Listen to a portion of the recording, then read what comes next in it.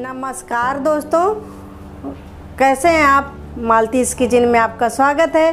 तो आज हम बनाने जा रहे हैं कद्दू का पाग।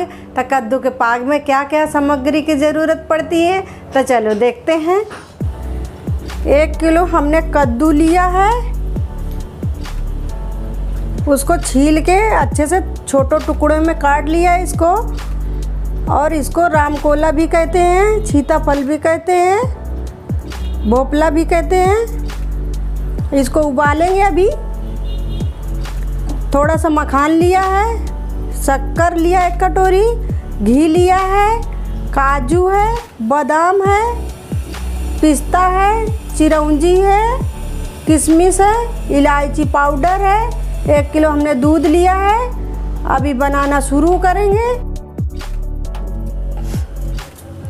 गैस जला के इसमें कुकर रखेंगे। दो गिलास हमने पानी डाल दिया इसमें। इसको अच्छे से पहले धो लिया था, अब इसमें डालेंगे। एक सीटी आने तक इसको ढक के रख देते हैं।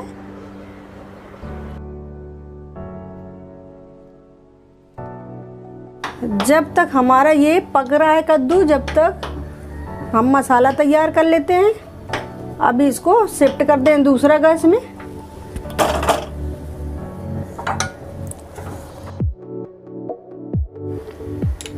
अभी घी डालेंगे इसमें।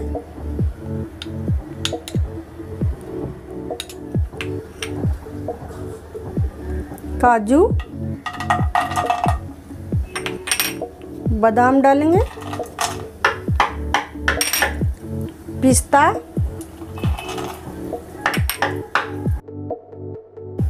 चिरौंजी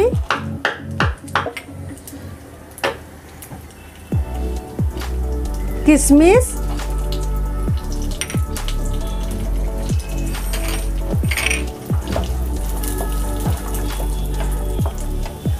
अब गैस बंद कर देते हैं। ये हमारा पक गया मसाला।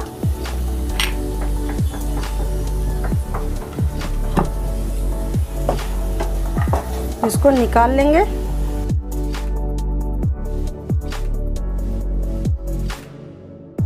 ये हमारे मखाने, इनको भी तलेंगे थोड़ा सा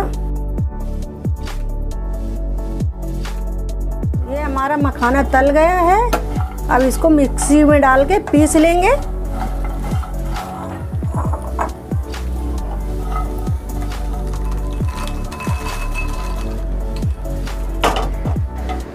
अब हमारा कद्दू पक चुका है, अब इसको निकाल लेते हैं। अब इसमें निकाल लेंगे हम।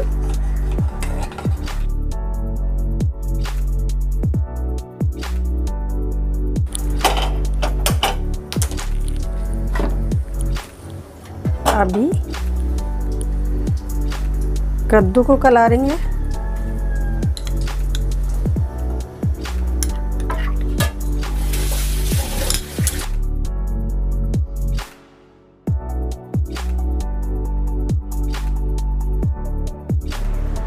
मैश किया हुआ कद्दू अभी इसमें डाल देते हैं।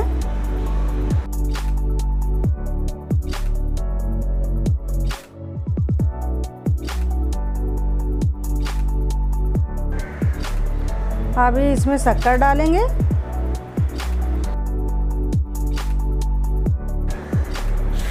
और इसमें ड्राई फ्रूट भी सब डाल देते हैं।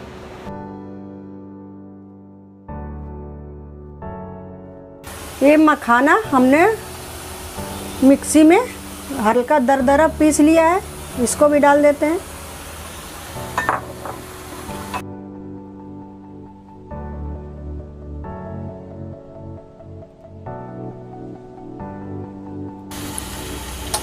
इसमें इसमें अभी दूध डालेंगे।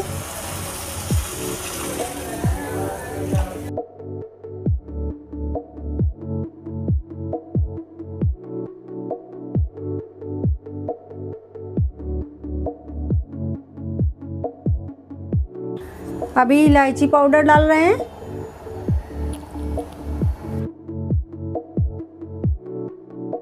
अभी इसको पाँच मिनट तक पकाएँगे। दूध के साथ। अब हमारा पाग पक चुका है अच्छे से।